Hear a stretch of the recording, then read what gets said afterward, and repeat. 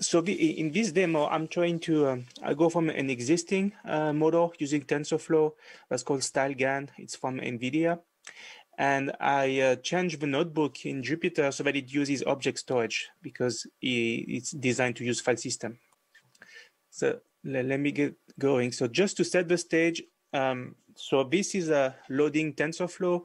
Uh, I have a Docker container in one of my machine that's running an uh, NVIDIA card, uh, 1080 Ti, so that's a kind of beefy enough that we can do this. Um, so this is getting initialized over here. Um, uh, so this is the architecture of the network I'm going to be using. I'm not going to go into the details, but you basically give it a point in space, and it's going to create a realistic face from it, right? Uh, and then we're going to have something with uh, with all of that. I have the object store is uh, on uh, Artesca. Uh, it's actually running on a virtual machine for the sake of the uh, demo. Uh, I'm just importing Artesca as a Python library, which is just a standard S3 client, but I'm doing all the uh, key management and authentication inside of that module. And let me show you what it looks like. I have this um, Artesca service on that VM.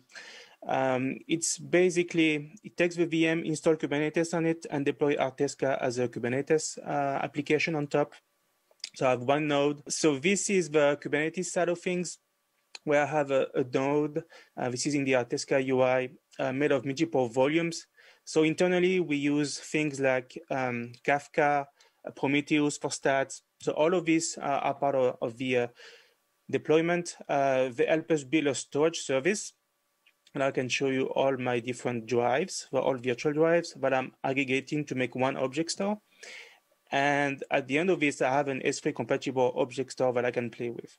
So in that object store, I have a bucket uh, where, where, I have loaded the models we're going to use today. And I've also loaded some um, data point that we're going to play with.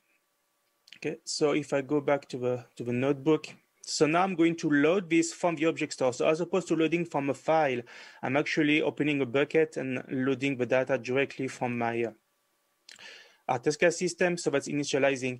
So the beauty of this is I don't need any storage uh, on my um, compute node. And if I were to have multiple compute nodes, they can all share the same object storage service. So they don't need to deploy their own storage. So that's loaded some utility function. So just checking if this works, I'm going to show some random people from uh, the, uh, the engine and it's working. So these are all people that don't exist that the uh, model was able to, uh, to generate. I'm sorry, I just wanted to confirm those are not real people. Yeah, these are fake people. Yeah, okay. you can just generate some more. Okay. Um, so now what we did before the, uh, the presentation was take pictures of uh, me and some volunteer delegates and Paul and Giorgio, uh, Paul and Brad. And we're going to, we did the opposite. Uh, from the picture, find me the point in the vector space that will generate something that looks like us. Uh, there's also that the space we're in has some, uh, a lot of structure and there's some axes you can play with. So smiling, gender, age, a lot of things you can do and modify. So for the sake of the, uh, the demo, I'm loading everything from uh, Artesca, from the object store. So none of that was on the server before we did the, we tried this. So let me go ahead. So this is kind of the original picture of Brad and what the uh, point the uh, engine was able to find. So it's pretty realistic. That's me 10 years ago and, uh, and Paul as well. You see that on me, uh, the original data set doesn't have a lot of people with my ethnicity. So it has a hard time with my fuzzy hair. It kind of makes me uh, non-curly, but that's okay. So let's go ahead and, and play with some of this, uh, uh, this data. So I'm going to take this and have us smile a little bit more because our company photographer doesn't like us to smile in picture. It's always closed smile. So if you want to have an open smile, that's what you would do. Uh, we can also play with other axes. Uh, this one is the gender axis. Some disturbing pictures. that is truly disturbing, I must say. And as a data scientist, uh, I might want to explore the data set and find some interesting points that I want to share with the colleagues. So if I go ahead and do some uh, arithmetic on this point. So I can take from Paul to Giorgio, from Paul to Brad, from Brad to me. I can also take the average of Paul and Brad and, and, and see what happens. So if I do this, let's see. So some more disturbing pictures. Um, so the, the top is Paul and Giorgio blended, yeah. somewhere in the middle. Got it. And let's say that I like this data point a lot and I want to go from this one to, to me. So I think I'm interested into that data point, uh, again, the middle. So let me uh, store it and let's put that bigger. So that's the mix of all three of us. I think it's pretty, pretty accurate. pretty wild. That guy could run Scality if uh, we were to have a problem. Mm. so now I'm gonna, so this is like the um, exploring phase of uh, um, machine learning. What I want to do is export it and share that with somebody else. So I'm going to um, export that data point and store it into the Artesca object store. And I'm adding some specific tags. So uh, three tags. One is a very important person. Uh, this was generated. And I'm giving the host name because I could have a farm of uh, uh compute node. And I may want to know which node created that uh, particular data. So that's what I'm doing. It's being stored. So if I go to um, my UI over here, I can go and uh, find the data by looking at all the different data points, or I can do a metadata search. So this was generated from a certain node. So if I look for that tag into the system, uh, it's going to reply with an index search on the actual data point that I just uploaded. Uh, so you can do metadata search on any attribute that you added yourself, and also on any um, storage attributes. So I can look for all the keys that uh, end with a NPY, which is the format of my, my data export. I can look at when I put data, I actually tag it with which one is the latest model, because in deep learning, you may generate new models and try to get the latest one. So I can just go and find which was the latest version of my model and play with it, because it has a specific tag of latest revision over here. Uh, I can also look at any large file into the system, and that will give me my models because they are the largest uh, pieces of the system. So with tagging and metadata search, you can quickly isolate uh, the data you want to work with. Uh, and as Brad and Paul said, with an object store, you can have billions of objects, but you can quickly filter them in an index manner to only find the data that you really want to, to work with.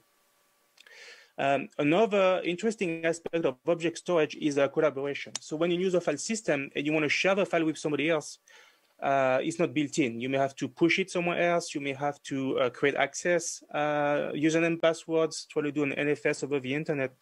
In that case, uh, Artesca is AWS compatible with S3. So I'm just using uh, the official AWS command line uh, pointing to my Artesca cluster to generate a URL that will expire automatically after one hour, but that anybody could use without having an account on the system. So when I do this, it generated this key, this uh, URL. And if I were to give it to you, uh, you, you, can download that file without prior authentication. So I just download it on my on my machine. So that's how you can share data between different people working on the same uh, problem. So some of the delegates were kind of uh, bold enough to send me their pictures. So I did uh, the actual alignment. Some some of the pictures are not all the same quality, but you can see that uh, one of them, the, the Willy map. So the original is on the right, the encoded version is on the left. Uh, one of them, uh, the picture wasn't centered, missing a piece of a picture, so it's kind of a, having some weird artifact, but that's okay. So now I can have you people smile a little bit more or a little bit less on that side. it's brilliant, Stephen.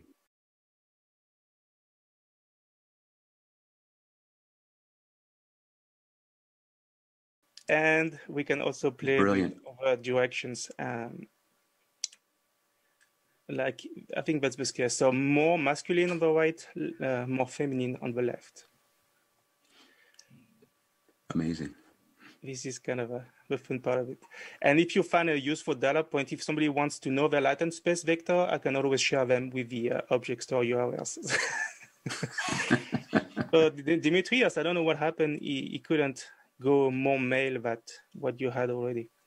Uh, some artificial. You're as male as it gets. Wow. Yeah, I broke, yeah. Facial tattoos are the only way you can get more male. well, let me ask a question to you, Paul, or Giorgio, or Brad. If you were to summarize, what is your unique advantages in the AI, machine learning, and deep machine learning space? What would that be? I think the main thing now is that we've reacted to the market. You know, uh, what if you looked at us three years ago, we had a very successful object store for dealing with the traditional workloads that fit, right? Archive, long term backup. Yes, we were doing big data analytics, but it was really about the petabytes of data that were larger and a little bit more quiet, a little less IO intensive. I think the big advantage now is we're coming to you with a system that's really optimized to deal with the performance and the deployment model of these new workloads. And that's Artesca.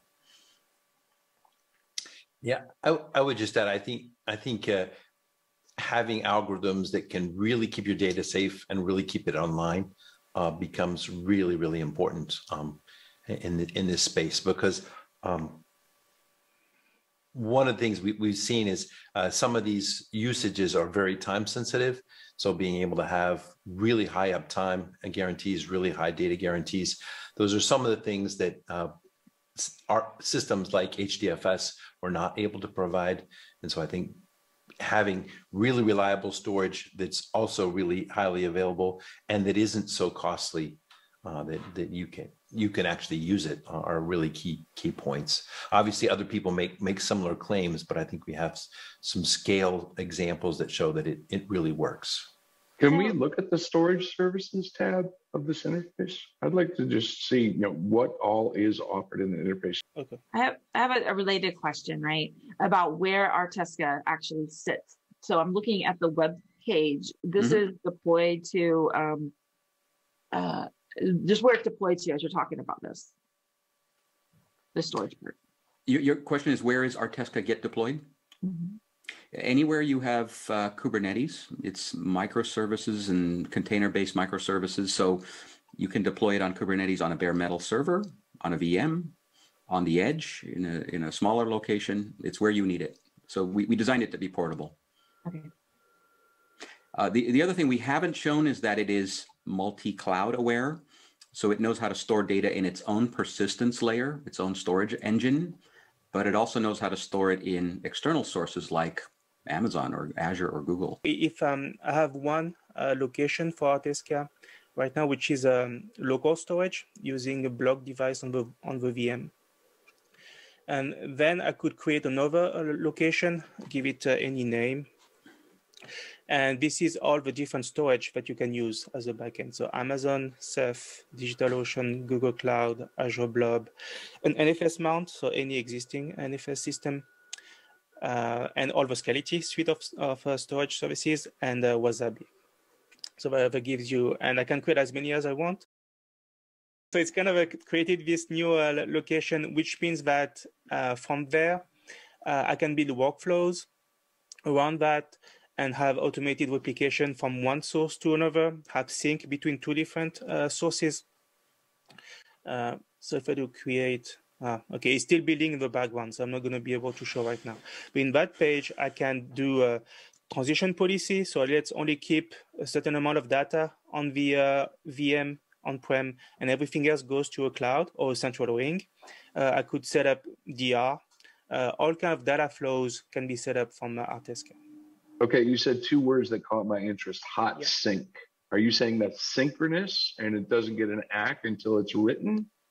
Or is it just it's asynchronous but very, very small? Oh, it's uh it's uh, asynchronous. Asynchronous, okay. Yeah. Let me right. see. Yeah, it's still uh, doing the location. Yeah, but, for replication, we can say that we emulate the Amazon cross-region replication model. Yeah. And we follow their API. The, the difference is we can replicate to multi-targets simultaneously. So you could replicate from an Artesca to two regions in Amazon or Amazon in another cloud. For the synchronous side, we do have the Scality ring that's capable of doing uh, kind of metro area, multi-site, uh, synchronous, um, so that the ACK is is re- received when when all of the, the sites have, have the data. And that's in production with a number of sites today and, and does provide really high availability and those kind of things that people are looking for as well. That's not an Artesca functionality. And and these are all separately licensed products. How, how are they licensed? Is it by server, by CPU, by socket? You, you tell me. It's by usable terabyte, usable terabyte. And Artesca is a subscription, so you get a one year or multi-year subscription, but it's by usable terabyte. So if you tell us you have 100 terabytes, that's what you license. It's free under 50 terabytes.